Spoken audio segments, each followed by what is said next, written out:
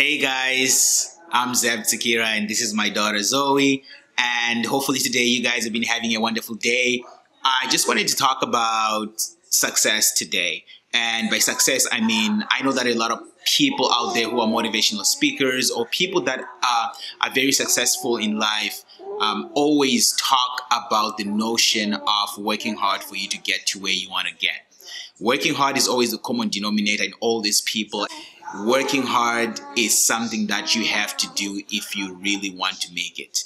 Now, you got to couple that with education, getting a mentor in whatever you want to do, whatever you want to be, networking with people who value the same things that you want to be or that you are right now.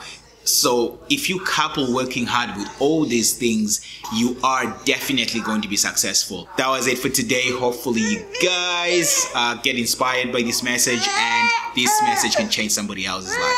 All right. Take care. Till next time.